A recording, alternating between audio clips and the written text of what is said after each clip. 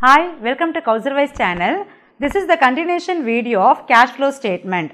In the previous video, we have seen calculation of net profit before tax and extraordinary items. You can find the links in the description box. Also, you can find the links for various topics on various subjects over there. If you are new to my channel, please subscribe and hit the bell icon to get the further notification of my new uploads. In this video, we are going to see calculation of operating profit before changes in working capital. Now, let's get into the video.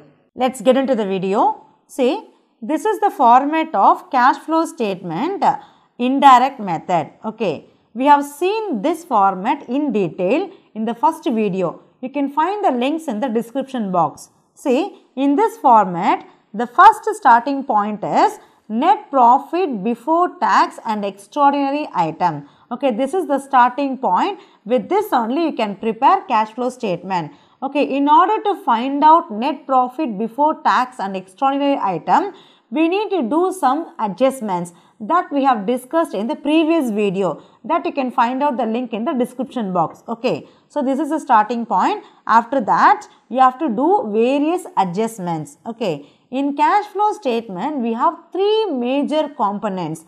What are the three major components? Number 1, net cash flow from operating activities.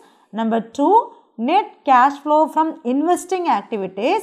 Number 3, net cash flow from financing activities. These are the three major components. Okay. The first component is cash flow from operating activities. Okay. So, in order to find out the operating activities, again you have to do three major adjustments. See the first adjustment, adjustment for non-cash and non-operating items. Okay. So, here we are going to do some adjustments regarding non-cash and non-operating expenses or incomes. All the non-operating expenses need to be added back and all the non-operating incomes need to be subtracted. Okay. These are the various adjustments related to non-cash and non-operating items. So, after doing the first adjustment, the second adjustment is adjustment for gain or loss on sale of assets and investment. In case of any loss or gain on sale of asset and investment,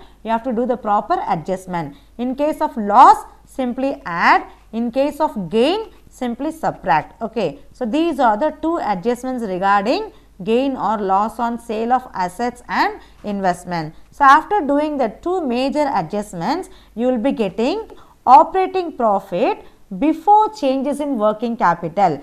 The last third component is change in working capital that is current assets and current liabilities. Okay. So, before considering this, if you get any operating profit, that profit is called operating profit before changes in working capital. So, in this video, we are going to see one numerical problem in order to find out operating profit before changes in working capital. So, in this problem, we are not going to consider current assets and current liabilities. Okay. So, without considering this, how to calculate operating profit that we are going to see in this video. Let us see the numerical problem. See the problem computation of operating profit before working capital changes. Okay, here from the following details compute operating profit before working capital changes. Okay, in this problem we don't have any current assets and current liabilities. So, we are not going to do any changes in working capital. So, before doing working capital changes, what is the operating profit that we are going to calculate with this numerical problem. See the first one, net profit before tax and extraordinary item. This is the starting point for fund flow statement. Okay, so generally if the item is not given means you have to do some calculation in order to find out the net profit before tax and extraordinary items. In this problem they have given directly so you can take the value as it is. Okay, for this calculation you can refer the previous video. Okay. So, here they have given directly, you can take the value as it is. Then the next one is dividend received on long term investment. So, this one is non-operating income because dividend is received from investment not from your operation, not from your own business. So, this is the non-operating income. this amount need to be subtracted. Okay. The next one, interest received on long term investment. This is also similar because you have received interest from investment that is you have invested outside the business. This is income not from your business. So, this one is non-operating income. So, this amount need to be subtracted.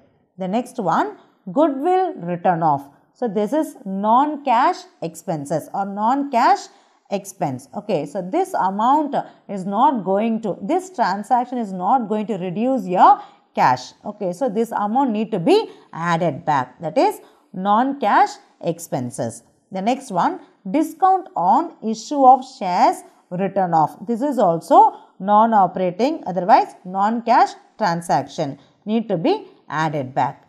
The next one, preliminary expense written off. This is also non-cash or non-operating expense. So, need to be added back. The next one, depreciation charged on fixed assets. This is also non-cash expense. So, this amount need to be added back. So, these are the non-operating expenses need to be added back. The next one, profit on sale of equipment. This is also non-operating income. Okay, so non-operating income need to be subtracted. The last one, loss on sale of long-term investment. Okay, this is also non-operating expense. This amount need to be added back. Okay, so these are the items we have identified non-operating expenses and income. Accordingly, you have to do the proper adjustment in order to find out the operating profit before working capital changes. Okay, now let us see the solution. See the solution. Computation of operating profit before working capital changes. The starting point is net profit before tax and extraordinary item. So, the starting point is given in the problem. Simply you can enter the value. Look at the problem. Net profit before tax and extraordinary items 2,50,000. See the solution. We have entered net profit before tax and extraordinary items 2,50,000.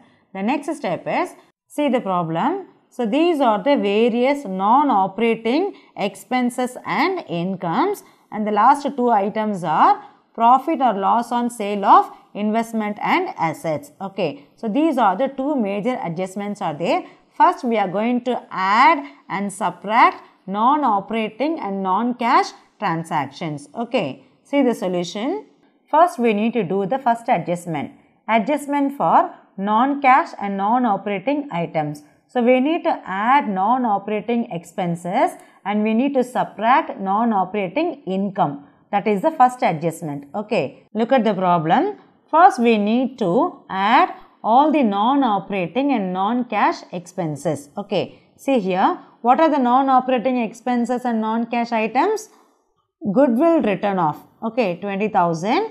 The next one, discount on issue of shares written off 5000 preliminary expense written off 25000 depreciation 50000 so these are the non operating and non cash expenses. So these items need to be added back. Okay. Now see the solution.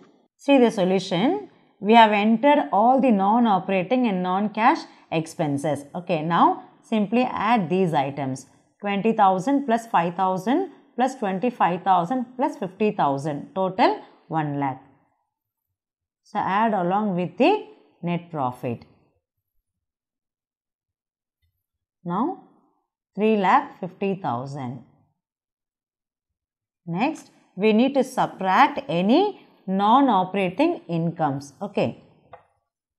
See the problem. Here we have two non-operating incomes. The first one dividend received 35,000, interest received 25,000. These are the two items need to be subtracted. Okay. See the solution.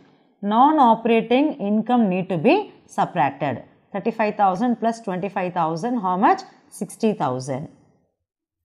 So 60,000 minus from 3 lakh 50,000 you will be getting 2 lakh 90,000.